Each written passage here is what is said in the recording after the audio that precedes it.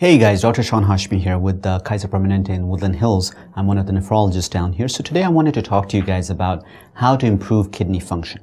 Well, let's talk about what actually damages the kidneys. And once we know that, it's pretty easy to determine how you can help it. So, the three big things that affect kidney function are diabetes, high blood pressure, and weight. These are your top three things that if you can fix these things, you can actually help the kidney along. The one thing you got to remember is if a kidney is damaged, means if the cells inside the kidney have died, you cannot get those cells back. What you can do is prevent ongoing damage. So how to improve kidney function really means that if the cells are injured, you take the stressors off of them. So weight loss, extremely important. New studies coming out clearly show that if you can lose weight, you can slow down the decline in your glomerular filtration rate, or basically your kidney function. Diabetes. We know the higher your diabetes is, meaning the worse control of your sugars is, the more likely you are to get diabetic nephropathy, which is basically protein spilling in the urine.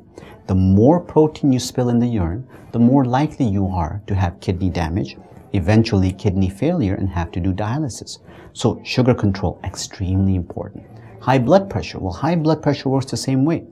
If you have high blood pressure for a long time, you will spill some protein in the urine, and like we just said, protein will scar the kidney and eventually lead to failure. Not only that, high blood pressure by itself will scar the kidney and lead to kidney failure. So controlling your blood pressure becomes extremely important. Now, now we get into some very tricky areas. So the first one is supplements. See, supplements by themselves are not bad if what you read on the bottle is what is inside the bottle. So if you can tell me that I'm going to take this herb and this herb contains this and there's scientific data to show that it's safe to take, then great, take it. The worry that a lot of nephrologists have is oftentimes people might be taking supplements or herbs that may have contaminants. What kind of contaminants? Heavy metals such as lead, mercury, etc. And these can actually get stuck inside the kidneys and they can significantly damage the kidney. So a very important thing is to always talk to your doctor about what you're taking, let them know, and if there's any chance that some of these are not from reputable companies or haven't been tested, try to stay away from them. Lately on the market, you will find that a lot of products are coming out that have the USP seal of approval, that the US Pharmacopeia.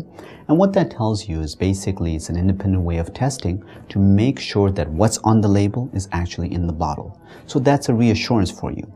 Um, ultimately, three main things, blood pressure, weight, diabetes.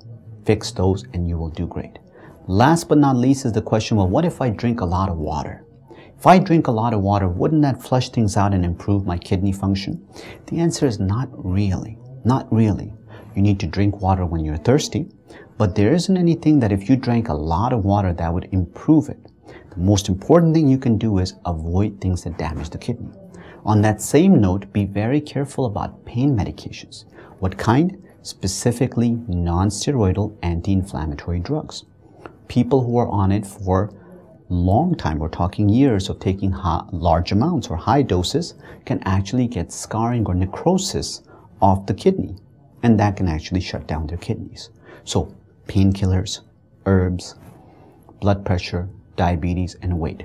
Those are the most important things that you should do to make sure that your kidney function stays optimal and also to improve it.